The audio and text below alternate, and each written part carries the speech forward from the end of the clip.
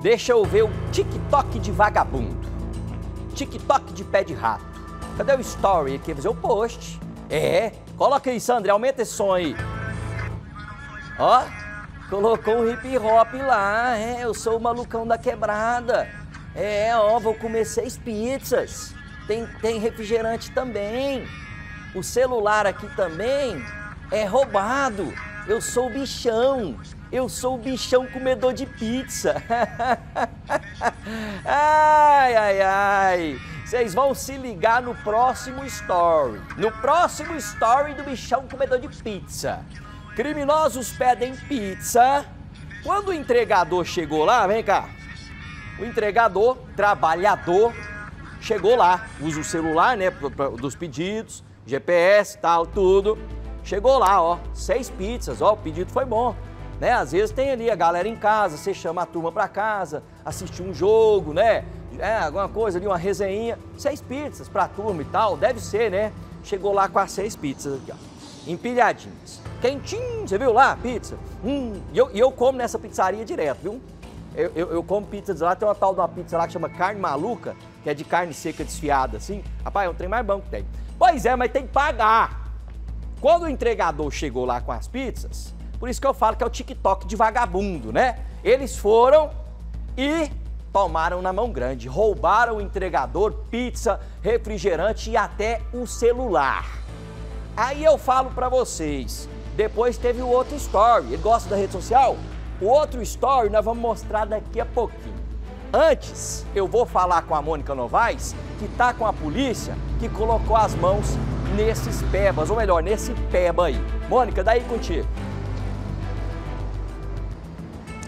Isso, Branquinho. 11 horas da noite, a pizzaria que fica ali no centro de Trindade recebe esse pedido, né? Um pedido generoso, seis pizzas grandes com refrigerante e tudo mais. O entregador, trabalhador, pega a moto dele, Ainda tem essa, né? Se desloca para um bairro bem distante ali do centro, gasta o combustível, chega lá, era golpe, era um assalto. Ele foi rendido com uma faca, não recebeu o pagamento, já é um grande prejuízo para ele que está trabalhando. Ainda ficou sem o celular, por pouco não ficou também sem a moto. Mas aí ele registrou essa ocorrência, a Polícia Militar foi acionada e já prendeu um desses envolvidos. Eu converso agora com o Tenente Vitor Hugo. Tenente, boa noite, obrigada pela presença do senhor aqui. Isso aconteceu ontem à noite e hoje a polícia já conseguiu localizar um. Como é que foi isso? Como é que vocês chegaram até esse homem? Sim, boa noite, primeiramente, boa noite, Branquinho, a audiência da TV Record. Exatamente, ontem, por volta de 23 horas da noite, a gente recebeu um chamado de uma vítima que era entregador de uma pizzaria, até tradicional lá em Trindade é, a gente recebeu um chamado da vítima dizendo que tinha sido vítima de um, de um assalto, né, que aconteceu da seguinte forma, ele recebeu uma ligação né, para entregar a mercadoria nessa, nessa residência, chegando lá, três elementos aí anunciaram o assalto, um deles estava com, com a faca. É, levaram além da, da mercadoria as pizzas, né, os, pizzas né, os refrigerantes e o celular dele que ele utilizava como ferramenta de trabalho. Né?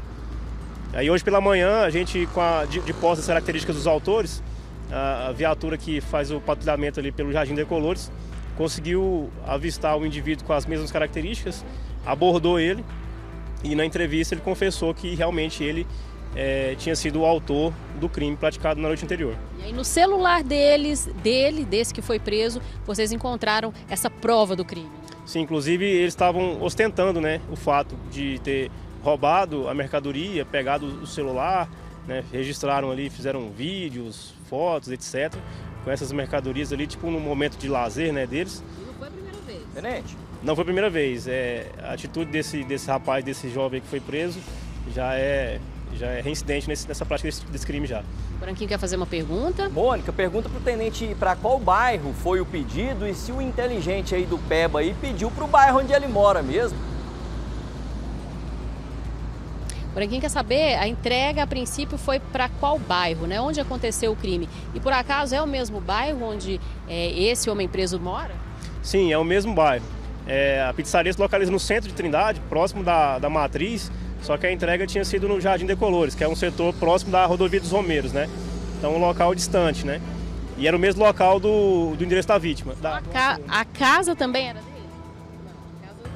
é uma casa que normalmente eles frequentam para usar drogas, etc. Né? É, vulgo mocó que a gente fala. Né? E os outros dois, em breve a polícia também já chega neles? Sim. A gente espera que sim, porque é, é uma atitude que incomoda muito, né? É, a vítima teve não somente não, não, somente foi vítima de um assalto, mas poderia ter sido vítima de perder um, uma ferramenta de trabalho. O telefone de um entregador é uma ferramenta de trabalho, né? Então tira a dignidade da pessoa também, né? Isso se não acontecesse um latrocínio, né, Tenente? Exatamente. É, exatamente. A, a, Polícia Militar está tá à disposição bem. e logo, logo também esses dois também serão presos. Muito obrigada pelas informações. E é isso, né? Todo crime, Branquinho, a gente sabe que envolve um risco de uma tragédia maior, porque a gente não sabe como a pessoa vai reagir aí naquele momento. E se não fosse uma faca, se fosse uma arma de fogo, ele tentasse fugir, levasse um tiro, acabasse morrendo. Então tem que ter o rigor da lei. Muito bem, agradeço aí ao Tenente Vitor, parabéns para o pessoal lá do batalhão, inclusive o Coronel Fernandes lá, que está fazendo um grande trabalho. Parabéns para eles lá pela resposta rápida.